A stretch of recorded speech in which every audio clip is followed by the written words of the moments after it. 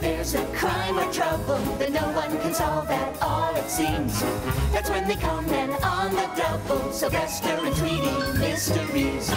It might be day or night, whenever conditions are right for them to flee. Somehow it all still fits together, Sylvester and Tweety mysteries. If there's a full moon, an old house with rotten stairs, Just look around you. Chances are we'll be fine. Someday that darn canary, and then I'll be happy, yes sirree. But Hector thinks you should be wary. Sylvester and Tweety mysteries. The chase goes on with each new mission, with backdrops aplenty globally. And through it all, they're in contention. Sylvester and Tweety